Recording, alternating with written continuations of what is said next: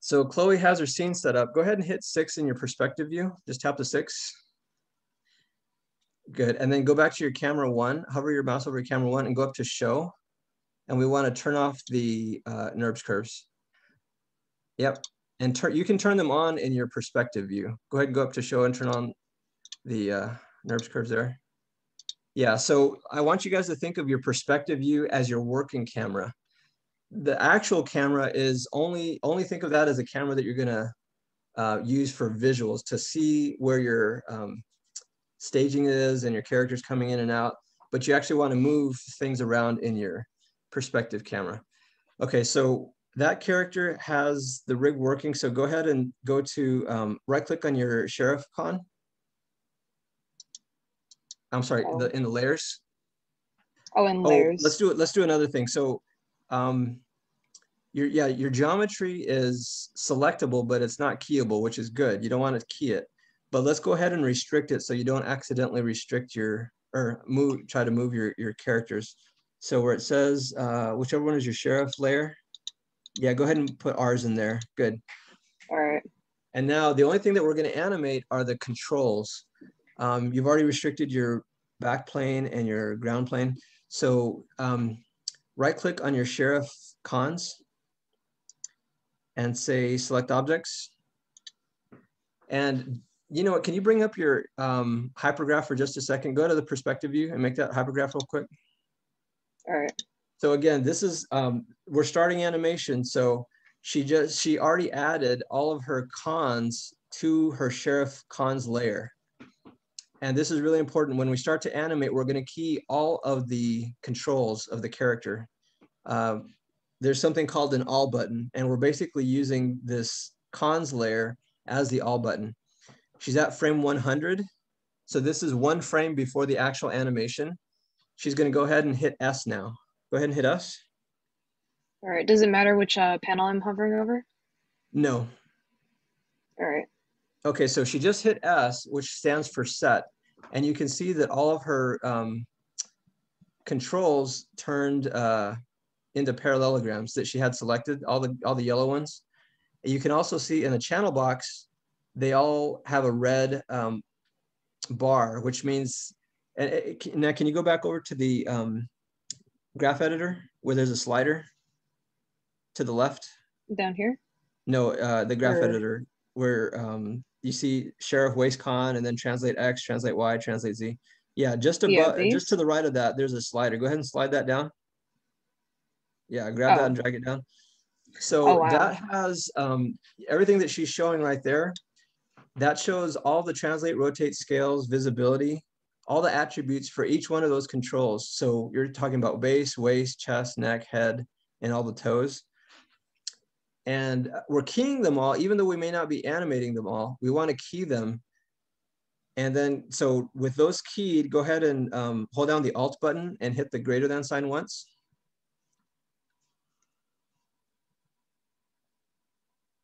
Okay, so um, you're at 101, good. So this is where yeah. we're actually gonna start our animation. Go, go ahead and hit S again.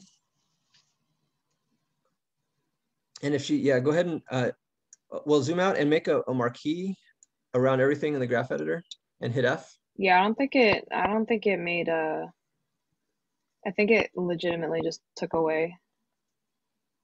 It took away? Huh. So the other know, thing I want um, you guys to notice is in the graph editor, after she hit F, there's now a little square in front of each one of the attributes. There's a red square in front of translate, a red, a green square in front of translate Y, a blue square in front of translate Z. When you see, and, and when you see those little red squares, that means you have the object select the, the key selected in your graph editor. So oh, there yeah, is a key there. Hold see on. if you can zoom in there so we can. I don't know where it is. I, I just lost it, but I swear I saw one. Okay. Um, yeah, there is keys in there. Yeah, I think it's just zoomed in really far. I'm sorry. Yes, yeah, far away because we're like at 600. Um, yeah. Yeah.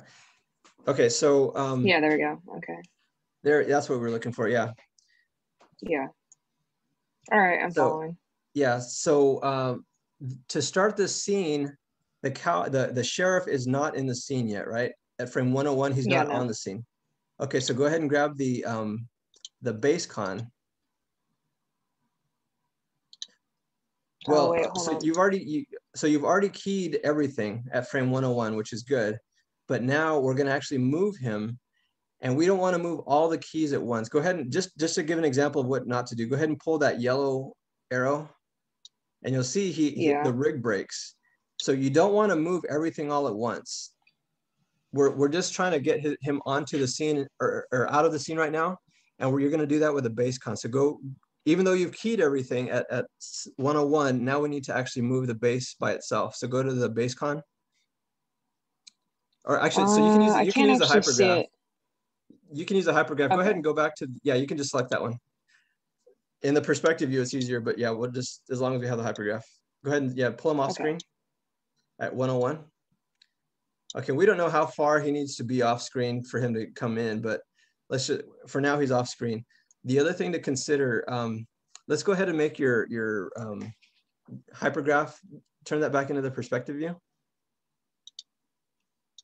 Okay, so the other thing is he's facing the camera. Most likely when he's gonna be coming into the scene, he's gonna be facing the, the other guy, the outlaw, right? Yeah. So go ahead and hit uh, E to rotate him.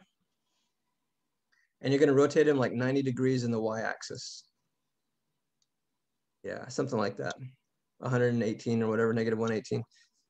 Good, okay, I'll, I'll so, literally just make it 90. yeah, you can, you can just put Okay, it. well, negative 90. There you go. Okay, so he's pretty much set up for the first, um, for his first pose. He's off screen, so let's go ahead and go to the other character. And yeah, and so in your, remember, you're not gonna work in the camera view, but you're gonna use your perspective view to, is your working camera. So yeah, kind of All right, I'm gonna over. take the, yeah, so I can you go. actually see the base con.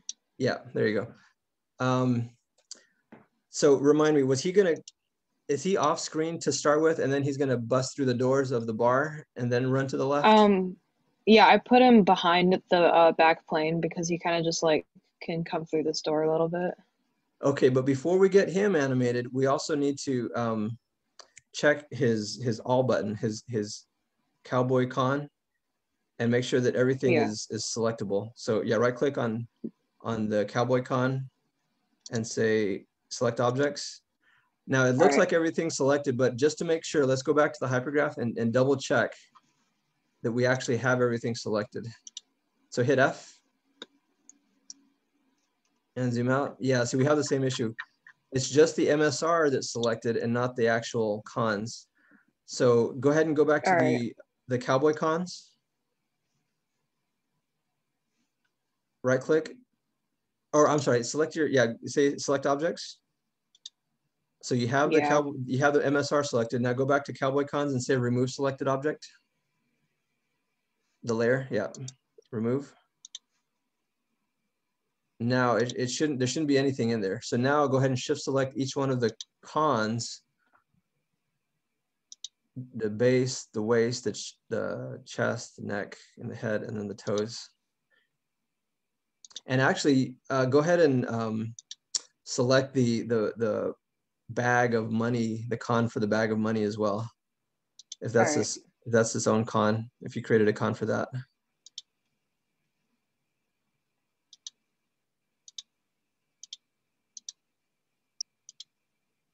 All right, yeah, I think that's the end of them. Okay, so those are all the cons. Right, right click on your con, cowboy con again, your layer, and say add selected. Okay, so um, ideally, this character at um, at 100 at the safety frame at 100 should be at 000, but it looks like he's off. So um, when you import your characters and make sure they come in at 000, and that's where you're going to key them um, for frame 100. But let's just say that that's working for now, just to save time. So you're going to key it at 100, and you're also going to key it at 101 like you did the other character. So you hit S All right. for 100 and 101.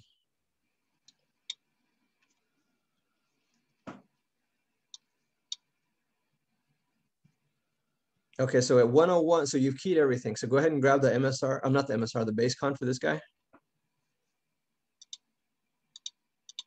And now let's drag him to the, or I'm gonna change this back to perspective just so I can see. Yep. Oh great. Uh-oh. His, his rig broke again. Uh, did you fix this one? I thought this one was fixed. Yeah, I thought this one was fixed as well, but I guess not. Okay, well, let's just say that that one was fixed. Um, you would, uh, at 101, you would put him off screen and then how long did it, did it take for you to, um, is he, are you gonna give him like a second, like 24 frames for him to be off screen and then he, like at 125, he jumps into the scene? Yeah, about about that much probably. Okay, so, gosh, I'm tempted to just have you want me to fix this really fix quick? it. Yeah, go ahead and fix it real quick. I'm gonna pause the video. All right. Okay, so Chloe's positioned her characters off offset, and she's at frame 101. So now the the bad guy, he's gonna come into the scene, but before he does, we're gonna give the audience um, 25 frames or a second to um, understand what's going on. So go ahead and key him again at, uh, in fact, go ahead and select the all button, Cowboy Cons and yeah, select every, select objects. And then in your in your graph editor, zoom out enough so that you can see frame 125. Or you could just drag it to 125. There you go. And go ahead and hit Yeah. S. And you might want to do the same. Well, you're, you're not moving him yet. So yeah, that's fine. So you- you've keyed the, the main character at 125. Now we're going to introduce him. So we've given the audience a whole second to see the environment without the characters. Go ahead and select the base con. And do you think it'll take him a second to to jump into the scene, or is it going to be more or less or longer? Um, I'm not sure because I was kind of just uh playing with it, but Yeah. um, So one thing you can do, maybe the like way a I've been second and a thinking half or is, something. I um, I think in seconds when I'm when I'm setting out my layout, and if if a second is too fast, then I can drag the timing slower if I've selected everything. So let's just give him another second to to get there. So go to 150. And then drag him forward so he, he's in the scene. Well, not yet. Go ahead and, Oh. in fact, you don't even have to hit S on that one because uh, as soon as you have your auto keyframe toggle on, you can see as soon as you pulled him forward, Move it. auto Ah, keyframe toggle immediately set you a key for the um, the base con. The problem is it didn't set a key for anything else. So go ahead and right click on your um, cowboy or your yeah your cowboy con and select objects again. And then you're going to hit S at 150. There we go. So this is a really important concept that I want everyone to get. When you're setting the key poses and the mid the the breakdown poses, you want to key everything. Even if you haven't moved the head or you're not necessarily planning to move the head, go ahead and key hit S every time on your keys and your breakdowns. With your in-betweens, you can start to um, maybe use some of the spline tools and we'll get to that, but make sure every time you're, you're moving your character, even if it's just the MSR moving them off screen like we've been doing, key everything. Okay, so he's on screen. How long is he gonna stay there? 1001, 1002, and then he looks to the to Maybe two seconds. Right. Okay, so go ahead. Um, let's yeah, go to frame 200. And then hit S again. So at 200, what happens? Does he look to the right? Uh, actually, maybe maybe it would take like a second for him to look to the right. I don't know. Okay, so actually just go go to uh, frame um, 175. Yeah, just drag that yellow to 175 and hit S oh, wrong. at 175. Yeah. Okay, so from 150 to 175, he's just there. We're just appreciating he's there. Uh, at 200, he uh, starting at two, uh, maybe around 200, maybe sooner. He's going to look to the right, right? Yeah. Okay, so instead of instead of rotating the the the base con, um, he because you're not gonna when you're when you're looking to the right, you're not actually gonna like reposition your whole body to the right. This is where we can Yeah. actually start to use the rest of the rig. So let's just give this a test. Go ahead and grab the waist con and above. Grab the waist, the chest, the neck, and the head. All right. I think it And make- selected it. Yeah. Uh, I don't know if the the hat is is it part of the selection or is the yeah, hat on the hat and the bag apparently. Um. Yeah, I think so. Yeah. Yeah, go ahead and restrict the hat so you don't accidentally select the hat and the bag. All right. Anything that's geometry, you want to restrict it so that you're just selecting and animating the um, the controls. All right. I can get Yeah, and it- that. I don't know why. Um. Well, It's it's on there. it's because it's um it's parented, so that's why it's. But at least it, you're not actually selecting it. That's the important thing. Okay, so yeah, rotate him to the right, like just until his face is like close to 90. Oh, your your bag. Are you going to rotate the bag too, or did you want to leave it there? That might make Um, sense because if I'm holding something, It might I'm make rotating- sense. Yeah. Yeah, go ahead and rotate him. So he's going to look to the right. And um, zoom out a little bit so I can see the full graph editor. All right. It's really. Yeah, so- yeah. So it's really tall. So you want to you want to compre- um, expand it. So hold down the Alt and the Shift key at the same time, and then drag left and right, and that should expand it. So it gets smaller, so it's not so Wait, tall. drag. Oh, what left and right? So hold down Shift and Alt at the same time in the graph editor. Yeah. And then I believe it's the right mouse or the middle mouse. Try either one. There you go. Oh, geez. Yeah, just keep doing that until it spreads out better for you.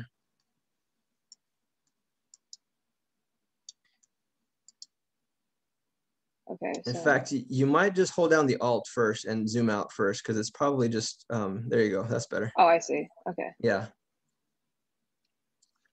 Okay, so he looks to the right and let's say he, he takes another second to uh, absorb what he's seeing. So 200 plus I was gonna make him like kind of like jump up. Well, he's going to look to the Huh? right and then he's going to jump up. Right. He's not just going to immediately. Oh yeah, up. yeah, yeah. So let's have him look to the right for another 25 frames. And of course, you, you can change timing Uh, Yeah. later. So then use the uh, cowboy cons, right click on cowboy cons and select objects. Now hit S. Okay, so from 200 to 225, he's basically just paused, looking to the right. And then, like Chloe just said, he's gonna get surprised. And what we just watched in the, um, you know, we'll, we'll build uh, uh, uh, an anticipation for him to go down and then up later. But for now, let's just have him go up.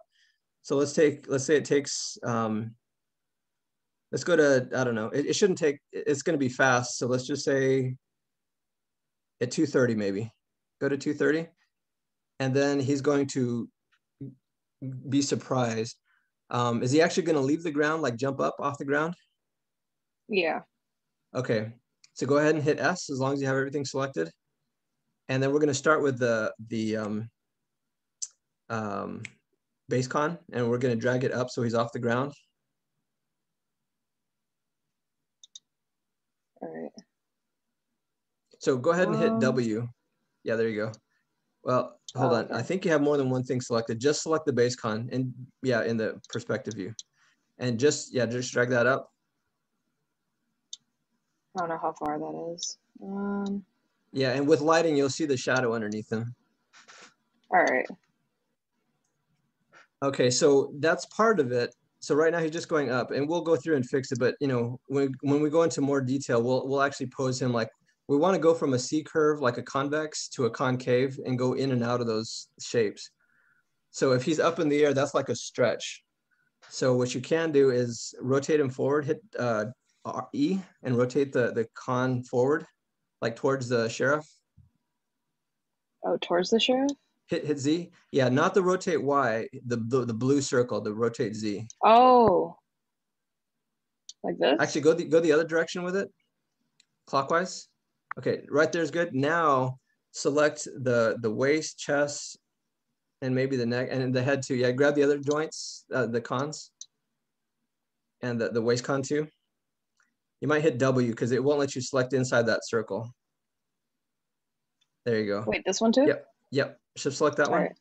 Now hit E to rotate. And now rotate them counter to what the, the base con is doing. There Oh, yeah. All right. So I'm now he, he's going, he's, he's like going C curve. That's his stretch. And he's not gonna be up there very long, but you know, just like in animation, we can cartoonize it. So he's, maybe keep him up there for a second, I don't know, a half a second. So 130 plus, let's say 150 for now. And at some point you can have a little, little- his feet, their toes kind of wobble or something up in the air, whatever. And go you ahead. said um, make a key at. Oh, I'm sorry. Uh, yeah. So also you you've just keyed the majority of them, but you haven't keyed everything. So go back to the, the cowboy con and hit S again, or select objects. All right, should I? Yeah. Yeah, right click and select objects. And then hit S. And then hit S. All right. Yep. Okay, so the next frame, we want him back on the ground. And we don't want to have to repose him and everything. So what we can do is just cheat and use a frame that you've already keyed. So dra- drag back to like one, or I'm sorry, two, yeah, somewhere in there. Actually, just just after that. Like, let's say Alright. 210. Two ten. So everything between 200 and 225 is the same. So if you hit S right now, you're gonna key um, everything. Now we're gonna cheat and make a marquee around what you just keyed at 210 All right. and then hit W. And now hold down shift. Now you're gonna do all this in the graph editor. Hold down shift All right. and middle mouse drag after two, there you go, yep. Yo, that's crazy. So that's that's the most common way that I copy frames. Uh, there's other ways, but that's I like to do it that way. Um, Where were we right, gonna so- put this? I'm sorry. Um, where Where were we gonna gonna, put it? um? So Yeah. he's just coming down from from being up in the air. So probably just another five or ten frames. Not very. It shouldn't take him very long. If it took him five frames to get up, maybe it takes him five frames to get back down. Is it five frames? Yeah. Yeah, so maybe 255. So here's another way to do it. You can you can drag them like you are doing, or you can um well you already changed the numbers. Go ahead and drag it out to the right a little bit further, just as an example. So she's holding down shift and she's dragging it. So she's at 264, and I know that because in the graph editor, even though I can't see the graph editor very well, to the left, Oh, it says it over Yeah. here. yeah, you have those stats numbers. If you select those stats numbers, the, the one that says 264, you can manually put in two, 255. And then it's, it snaps it where you want it to, to be.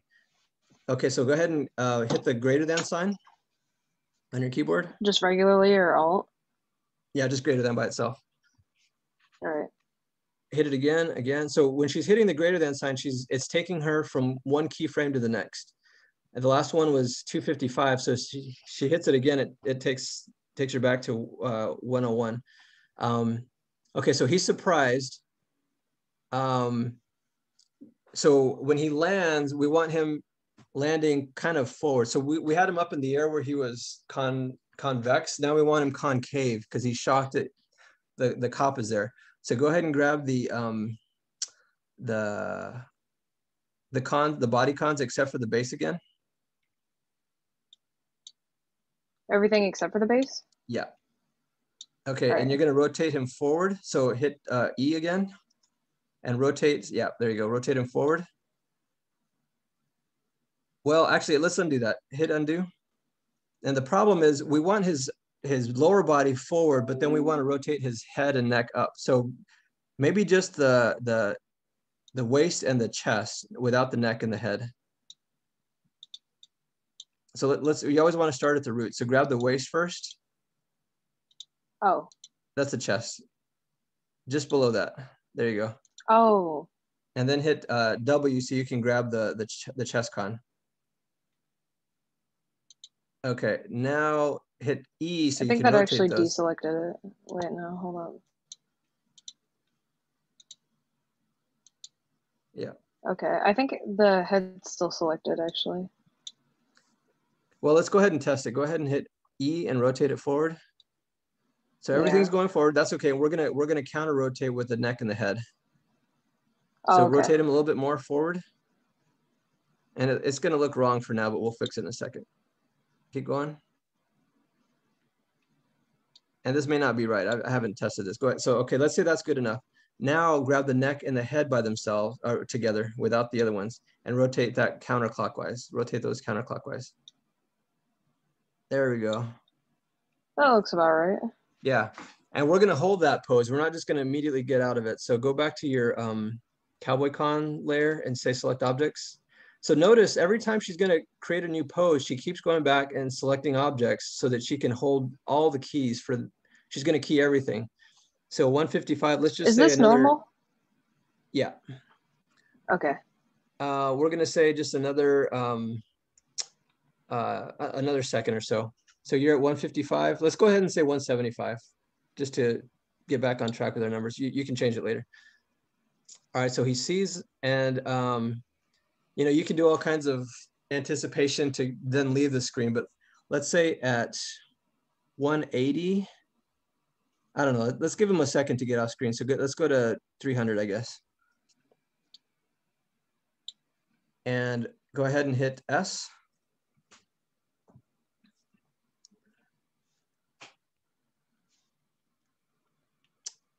You know what? Let's let's do this. Uh, go ahead and hit undo.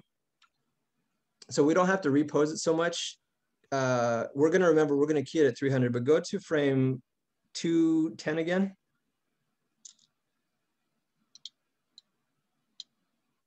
Or you know what? Even better. Um, let's go where he was up in the air.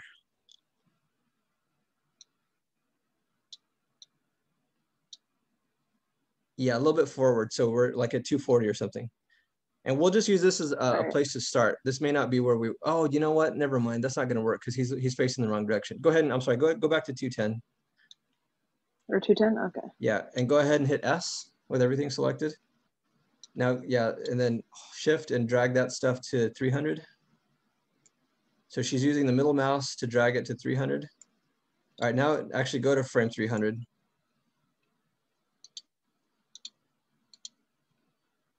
Uh, I forgot, he's still looking that way. Okay, let's let's actually, um, so we're gonna put him in his default pose. I thought 210 was his default pose, but I forgot he's still looking that way. So in your in your channel box, select um, all the translates. No, not the translates, just the rotates. You have everything selected, Just- but in your in your channel box to the right, go up to the rotates, all the rotates, and I want you to click on the number zero for rotate X and click and drag from rotate X through rotate Z, all three of them at once. There you go. Oh, Now, it looks like they're all zeros, but we know they're not because we see rotations. Go ahead and hit zero and enter. zero and enter at the same yeah. time? Yeah. Well, yeah, just, there you go. So now he's Oh. back to zero.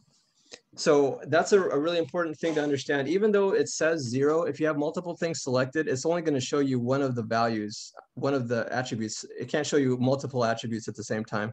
So if you have multiple attributes selected, like all the cons, it may be zero or it may say one, but it's not true because you have multiple things selected. So to put it back to default, you can just click and drag through those numbers and set them back to default. Okay, so we're back at the default position. Now we need to get them off screen. So at frame, um, so he was looking at 275, he was looking right. Okay, so let's pose him look uh, running left. We're actually gonna rotate the, the base con this time because we're gonna get him off screen again. All right. Ooh, Yeah, and rotate him to the left. All right, and let's say he's, let's pull him up in the air a little bit. And kind of like what you did before, we'll, we'll have rotate uh, counterclockwise. Um, do you want me to do it with the specific joints? No, just just the rotate. Um, I'm sorry, just the the base con right now. All right. Um, So rotate him, rotate him counterclockwise? counterclockwise. Yep, in blue? yep. And Okay. then you're now you're going to grab the other controls and rotate them counter that. All of, uh, Yeah, all of them All except of for the, these? the base con. Yep, and now rotate them counter. Okay. So rotate and clock, clock, clockwise. Oh, okay. There we go. So it looks like he's like he's gonna run off in a mad dash. He's hopping. Yeah. Okay. Yeah. Now grab the the base con again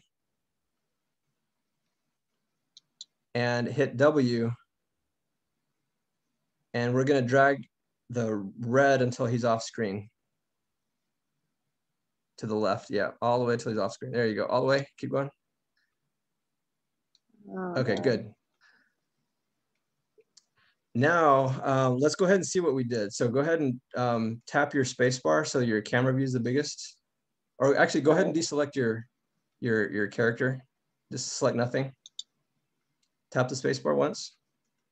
Okay, now um, change at the bottom where it says 100, change that to 101. And then hit enter. Yeah, now in the time slider, drag it to, yeah, go ahead and start from the beginning, 101. Okay, now go ahead and hit play. Yeah, that's really fast. Yeah, I think it's too fast. I think your playback speed might be incorrect. Go to animation preferences at the bottom right. Um. Keep going all the far right. There you go. Click on that Okay. one. Yeah, it's play every frame. You see at the bottom where it says playback speed. Change that to 24 FPS. And also Okay. update view. Before you say save, you have to scroll scroll down lower. Change update view to all. And then say save. All right. Okay, now go ahead and play it.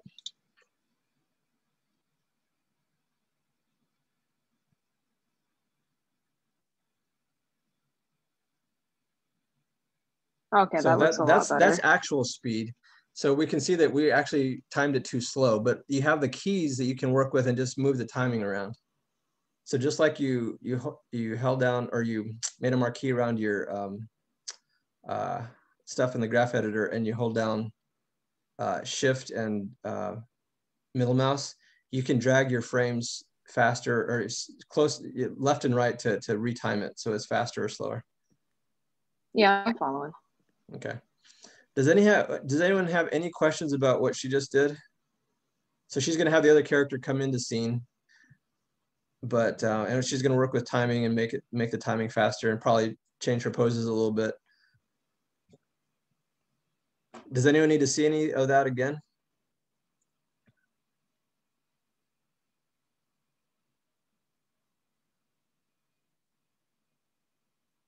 So one thing you can do, and this is just an idea, um, wide, you know, from we're watching that video talking about staging, um, wide shots like this one are more used for um, big actions like running across a scene. Um, but you might, for the sake of um, uh, cinematography, you might cut, you, you know, you, you haven't come into scene and then you have a camera cut. So you zoom into his face, it's just his face and you can see his, his expression or you can hear his dialogue cackling or whatever he's doing as a bad guy. And then you can come back to this scene and then he hears something. So then you cut back and you see him look right and then he runs off screen. So you can do a lot more with cameras. I mean, this is pretty simple, which is good. But um, you know, once once you get this stuff locked down, then we could probably uh, add more and more detail so it gets uh, to be a stronger piece. Do you want me to stop screen sharing? Or? Uh, well, I was just having you uh, run it so we were looking at it, but that's fine. Does anybody before we, right. uh, um, Chloe stop screen sharing? Does anyone have any other questions so we can use this example? Everyone saw how she keyed everything and she posed things and she moved the the the the base con, but then she also keyed everything. She didn't move everything all at once, but she keyed everything all at once. Remember, you you can't move everything in your perspective or your camera view all at once because that'll break the rig. But you can move the keys, select all the keys and move the timing in the graph editor. That's what the graph editor is for. So you know what, do one more thing for me, Chloe. Go ahead and tap the space bar. And uh, go back to your cowboy cons and say, um, right click and select objects.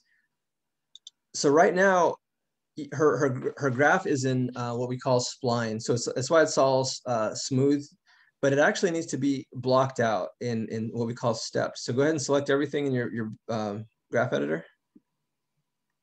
I think I accidentally might have done this earlier because I hit a button up here and it uh, turned it all in Yeah. the graphic. So now go to the, the stepped key, which is just above your mouse, just to the left a little bit. Keep going a little bit further to the left, a little bit more.